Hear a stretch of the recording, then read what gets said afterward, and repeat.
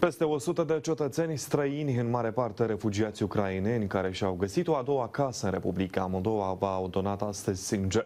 Campania a fost organizată de Centrul de Caritate pentru Refugiați în parteneriat cu Agenția 1 pentru Refugiați în Republica Moldova și Centrul Național de Transfuzie a Sângelui. De dimineață, zeci de cetățeni din peste 30 de țări stabiliți în prezent în Republica Moldova au făcut coadă la punctele de colectare a sângelui de la Centrul de Caritate pentru Refugiați. Это как э, читается благодарность этот народ, потому что эта страна принимала меня, когда у меня было тяжелое время, я училась здесь.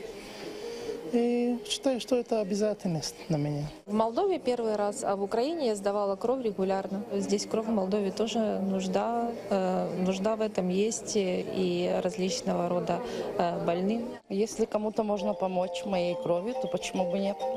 Нам же люди помогают, и мы, если чем можем, помогаем. Reprezentanții Centrului Național de Transfuzie a Sângelui susțin că astfel de campanii îi ajută să suplimenteze stocurile de sânge. Stocurile de sânge sunt permanent în mișcare, adică uh, spitalele permanent au cerință față de centrul de transfuzie. Desigur, cea mai solicitată este grupa care este cea mai răspândită pe teritoriul Republicii Moldova, aceasta care este a doua pozitivă. E pentru al șaselea an când Centrul de Caritate pentru Refugiați mobilizează cetățenii străini stabiliți în Republica Moldova să doneze sânge. Avem refugiați în diferite țară și ucraineană și alte 30 diferite din Siria, Irak, Afganistan, Sudan, Eritrea, Maroc, Turcia, de alte țară.